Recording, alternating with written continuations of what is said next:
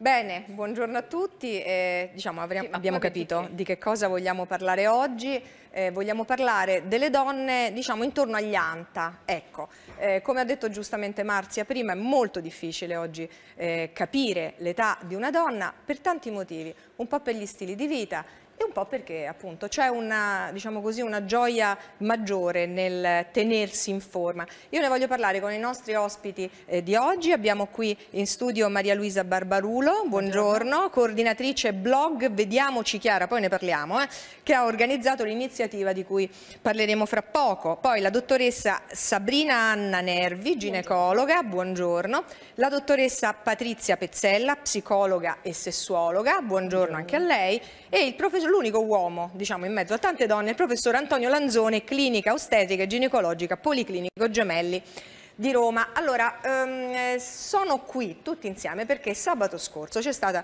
una bella iniziativa a Roma che si è intitolata eh, 50 sfumature di donna. Io vi volevo leggere un pezzettino della brochure perché mi è piaciuta tantissimo, perché diceva eh, prende forma da un necessario, questa iniziativa, e biologico desiderio di cambiamento che si genera in un'età compresa tra i 40 e i 50 anni. Sono infatti tante le seconde volte.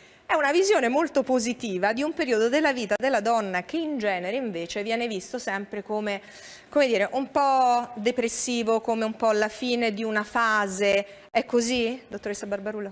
Ma in realtà credo proprio di no. Noi abbiamo lanciato una survey sul nostro blog e le risposte che abbiamo avuto dalle donne in verità sono quasi tutte estremamente positive.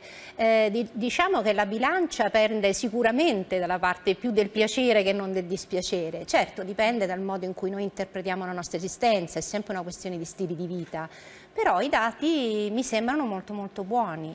Allora questa iniziativa, diciamo eh, 50 sfumature di donna, è stata molto partecipata, noi poi abbiamo un filmato che vedremo dopo, però è stata molto partecipata, c'è stata una bella risposta. Sì, sì, abbiamo avuto mm. quasi mille partecipanti tra coloro che sono venute proprio all'evento e coloro che comunque lo hanno vissuto attraverso la visione di materiali video, di comunque condivisione attraverso i social ovviamente, certo, visto che ormai certo, viviamo certo. con questa logica tecnologica. E di che cosa si è parlato? Si è parlato di tanti argomenti, dal punto la prevenzione come stile di vita al eh, ricominciare cambiando prospettiva, curato dalla dottoressa Alessandra Vitelli. Abbiamo avuto la dottoressa Loredana Latorre che ci ha fatto fare degli esercizi divertentissimi sul palco, eh, ovviamente lavorando sul pavimento pelvico.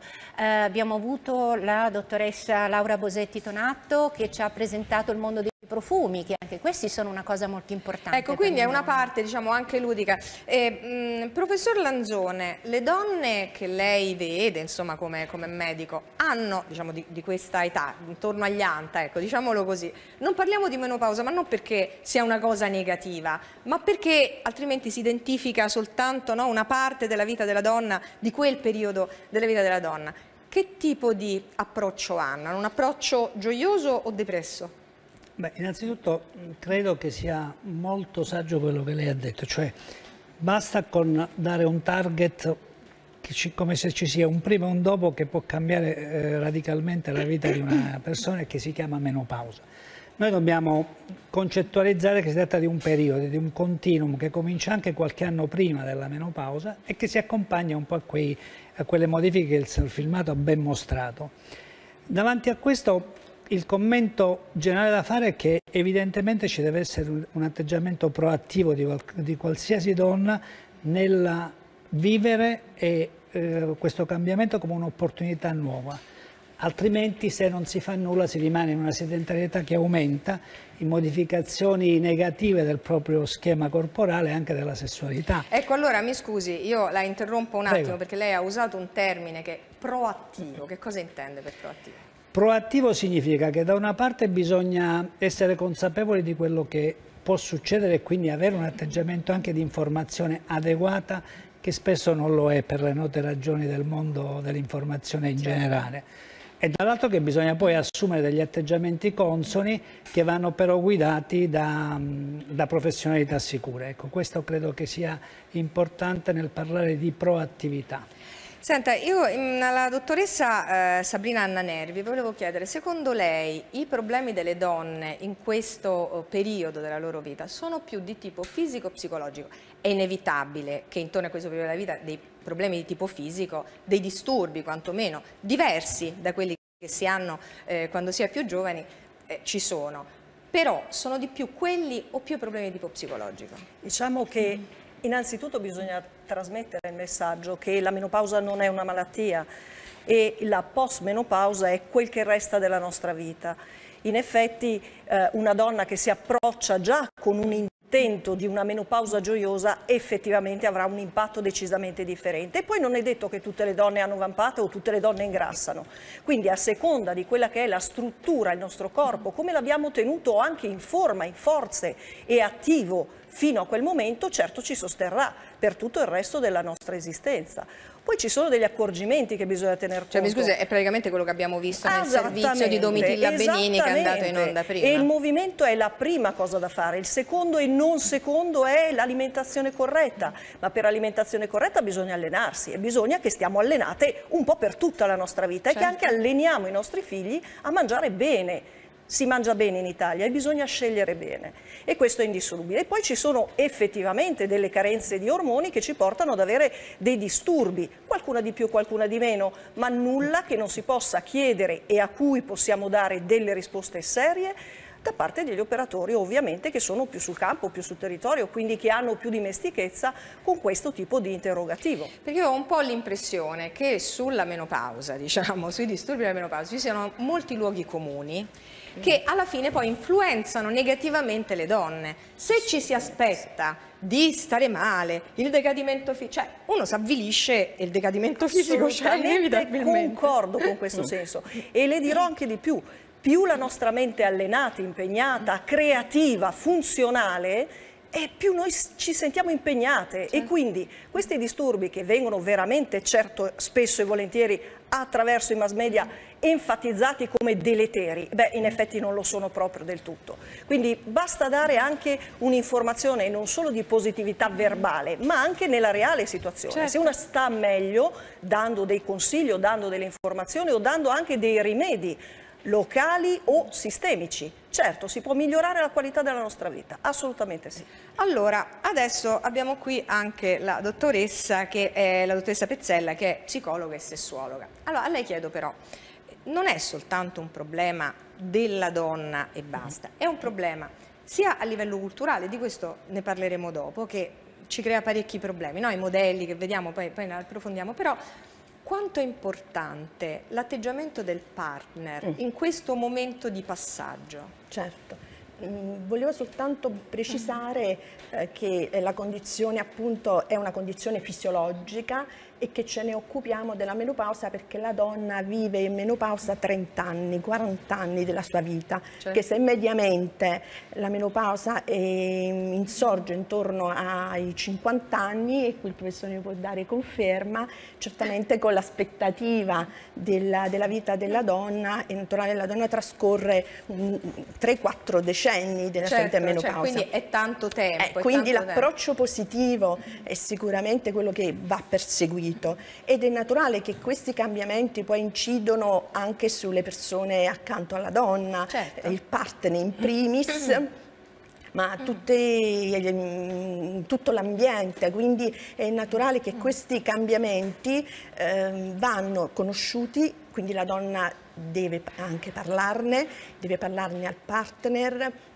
è importante che con il partner si vada anche dal ginecologo in maniera tale che quello stesso partner eh, che è compagno di vita e probabilmente anche padre di figli, così come ha accompagnato la donna nell'ecografia certo, eh, rispetto alla gravidanza, al parto è anche giusto che si avvicini alla donna in questa fase di transizione. E quali sono gli fase... errori però che deve evitare? eh, che deve evitare la donna, eh, che deve evitare il cioè, partner. Diamo qualche consiglio pure a loro. Eh, certo, certo. Noi, diciamo, Sicuramente no. di non sentirsi rifiutato, prima si parlava della sessualità, sì. allora per esempio di non sentirsi rifiutato perché effettivamente con questa carenza degli estrogeni si possono creare delle situazioni di difficoltà anche nei rapporti certo, intimi, se certo. possiamo usare questa espressione. E quindi eh, questi cambiamenti, talvolta proprio perché eh, sottovalutati dalla donna e spesso ignorati completamente dall'uomo, fanno sì che eh, il desiderio mh, di, sessuale può ridursi certo. e di conseguenza questi rapporti possono risultare anche... Mh, fastidiosi. Certo, quindi insomma, e essendoci un calo di desiderio, sente... sostanzialmente l'uomo si sente sì, diciamo, rifiutato. rifiutato. A lei, professor Lanzone, le capita mai che vengano le donne con i loro partner da lei oppure non, non capita mai? Menopausa è pochissimo. Sì, eh? Diciamo ah. che... Vabbè, eh, certo, quando aspettano un ecco, figlio... Il, il dato nuovo degli ultimi dieci anni è che il marito accompagna la, la moglie o il partner insomma, certo. in gravidanza, ma già la seconda gravidanza li vedo meno presenti. Meno, diciamo. diciamo così. In menopausa è veramente raro, molto raro, ah, sì, sì, eh? quasi inesistente direi.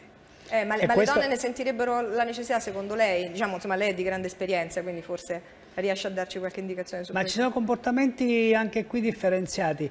Coppie molto molto unite lì vanno insieme, ma devono essere ecco. coppie molto molto, molto unite, unite. molto condivisive altrimenti la donna spesso è sola e qui non è semplice approcciare eh, con una certa eh, leggerezza situazioni come quelle che ha descritto la dottoressa Pezzella certo, prima. Certo. Quindi in realtà anche il ginecologo deve essere un po' allenato a, a, fare un percorso che alla fine arrivi al dunque di alcune problematiche certo. che sono intime e che fatalmente la signora non sembra, a meno che non sia il suo ginecologo da 30 anni. Eh beh certo, allora è difficile diventa, che riesca. Allora, eh, noi abbiamo un, un, filmato che è stato realizzato eh, appunto sabato scorso eh, durante questa, eh, questo evento, insomma, questo 50 sfumature, di, di donna. donna. Eh, allora, in questo filmato noi dovremmo vedere delle, diciamo, de, de, delle cose molto, molto carine, molto interessanti, perché non so se riusciamo a vederlo insieme, eccoci, ecco qua. Allora, qui abbiamo, va bene, qualcuno che parla, vedo, semplicemente, ecco, se ci illustra. Torre, sì, sì. la dottoressa Loredana La Torre che... Ecco, e qui vediamo tutte le donne che erano presenti, no? Sì, ecco. sì, assolutamente, ecco. assolutamente. Oh, qui che cosa stanno facendo? Perché ho messo questo